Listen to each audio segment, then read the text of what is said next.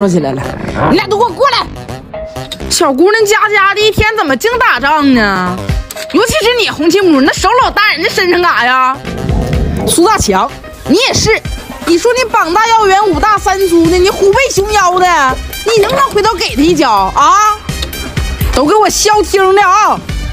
孟特娇，挺大小伙子就知道猫那看热闹，你倒拉仗啊！都进来进来，别在这玩了。哎，我算发现了，这狗名是让我起废了。前面这俩名太刚性，后边那小子名太矫情。嗯、为了咱们家庭的团结和稳定，今天必须给你们改名了。小爱同学，我在，给我的狗取名。你是不是曾被它的智商震惊过？是它是不是很喜欢沙发？是啊，我认为金珠玉叶比较符合它的气质。